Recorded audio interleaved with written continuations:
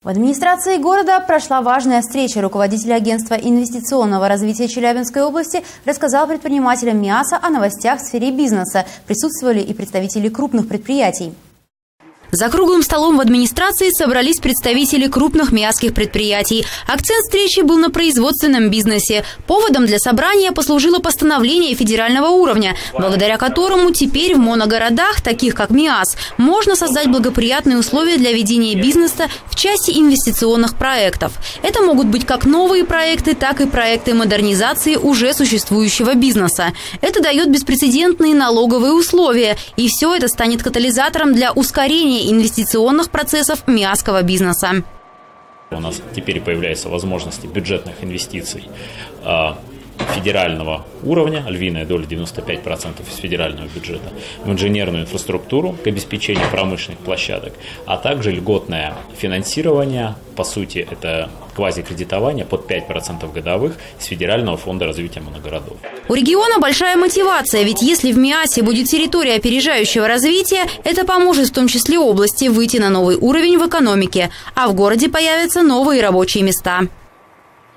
Скоро в школу. По поручению губернатора Бориса Дубровского организована выплата пособия многодетным семьям на подготовку детей к школе. В МИАСе почти тысяча семей получат единовременную выплату.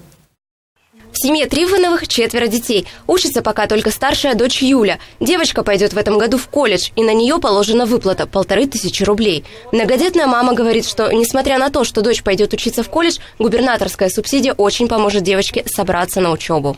Юля может на них купить, допустим, э, то, в чем она будет ходить в колледж. Наверное, ну, может быть, обувь не совсем дорогую, ну и все, пожалуй. Либо она может э, себе купить э, тетради, которые ей нужны, а, ну, ручки, а, поскольку она учится на воспитателя, то она, естественно, лепит пластилином, рисует красками, в общем, все то же самое, что и в первом классе. Субсидию выделяют по распоряжению губернатора Челябинской области. Пособие на каждого ребенка из многодетных малоимущих семей и каждого ребенка-инвалида из малоимущих семей в этом году получат 39 тысяч детей. Выплата данного пособия положена на ребенка до 18 лет, кто учится в школе или среднеспециальном учебном заведении. Миасским семьям эта выплата также положена. Вообще на учете состоит э, около тысячи таких семей. Всем детям положена эта выплата. И для того, чтобы эта выплата была назначена, необходимо обратиться к нам в Управление социальной защиты населения, либо э, в многофункциональный центр по месту вашего жительства и представить определенный перечень документов, с которым можно ознакомиться на сайте Управления соцзащиты Миасского городского округа. В области сообщают, что прием документов на получение субсидий идет до сих пор. Сейчас идут прием документов во всех управлениях соцзащиты города, а, сдаются, не, э, сдаются нужные документы, и выплаты начнутся где-то в районе, где-то после 20 числа. Более точную информацию можно узнать по телефону в МИАСе 53 33 31. МИАС посетил депутат Государственной Думы, член фракции «Единая Россия» Олег Колесников. В рамках своего визита парламентарий провел прямую линию с жителями города. Какие вопросы интересуют МИАСов, выяснила наша съемочная группа. В редакции газеты «Мяский рабочий» телефон не умолкает ни на минуту. Причина тому – прямая линия. Депутату Государственной Думы Олегу Колесникову задают вопросы МИАСы. Любой желающий мог дозвониться по телефону редакции и спросить все, что его интересует. Вопросы звучали самые разнообразные, от проблем, связанных с коррупцией, до благоустройства города. Одной из тех, кому удалось пообщаться с парламентарием, стала Маргарита Васильевна. В прошлом врач, а ныне пенсионер и инвалид второй группы. Она начала свое обращение в форме басни. В ней пенсионер рассказала и о коррупции, и о плохих дорогах, и о благоустройстве города. Такое воровство на стране, как раковая опухоль распространилась, и метастазов столько у нее, убрать их все не сможет никогда Россия. Город Миас, э, город, в котором за пять лет, конечно, поменялось пять мэров. Это очень плохо, и это, конечно, сказалось на очень многом.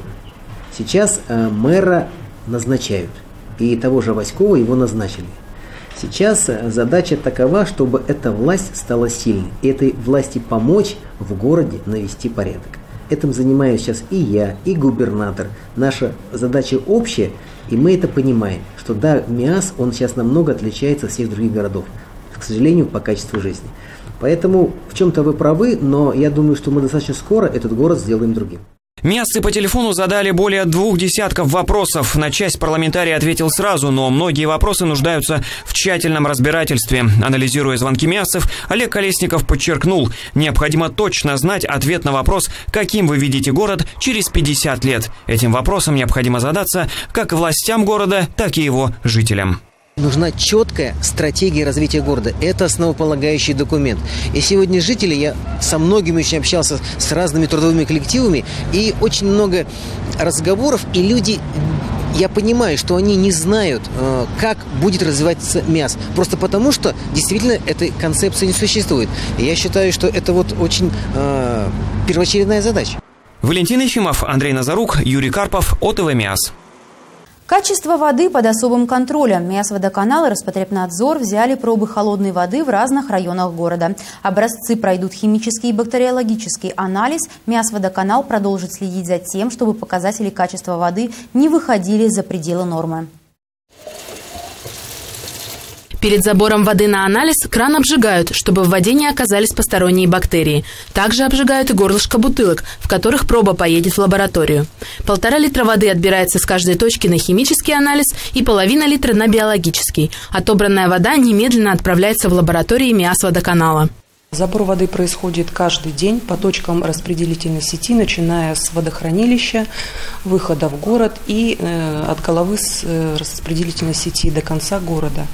Сегодня мы ездили на Еремельское водохранилище, на насосно-фильтровальную станцию, на центральную часть города, э, центральную, южную и северную часть города. Вот это последняя точка, то есть промониторили буквально всю э, разводящую сеть, отобрали на химические, органолептические показатели, Ежемесячно Роспотребнадзор участвует в заборах воды, чтобы сверять лабораторные показания с мясводоканалом. В этом году многих жителей беспокоит цвет и мутность холодной воды. Однако руководитель ОАО «Мясводоканал» Сергей Портной сообщает, что нормативные показатели не превышены. Мы находимся в разрешенных нормах э, с учетом выпущенного постановления и разработанных мероприятий. Мы постоянно находимся в тесном контакте с разработчиками технологий. Мы не стоим на месте, мы корректируем э, применение доз, э, очередность тех или иных реагентов. Администрация Миасского городского округа и соответствующие службы продолжают контролировать ситуацию и принимают необходимые меры, чтобы, несмотря на жару и цветение водохранилища, жители города были обеспечены качественной водой.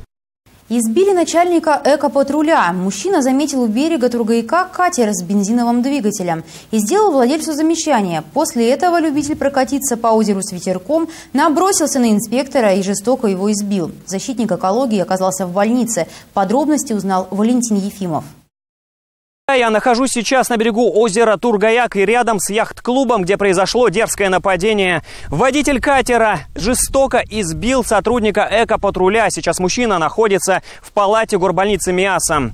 Он сам сообщил нам о случившемся, но удивительно. Во время интервью говорить на камеру он отказался, сообщил лишь о встрече с правонарушителем. Ну вот я поставил лодку, пошел на, э, на стоянку к автомобилю. Ко мне подходит мужчина угу. которому я делал замечания.